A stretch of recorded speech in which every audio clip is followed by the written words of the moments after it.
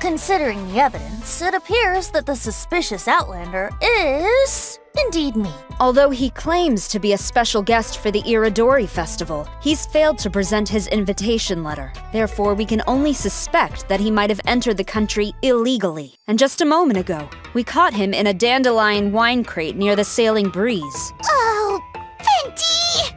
You didn't really come here illegally, did you?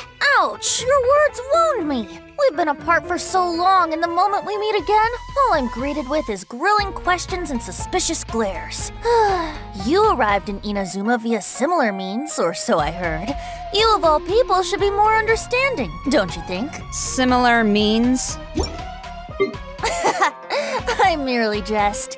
Not, for the person who sent me the invitation is none other than Kamisato Ayato of Yashiro Commission. Not so fast. Uh, yes, the invitation letter. I'm truly sorry. Uh, I can't seem to remember where I may have put it.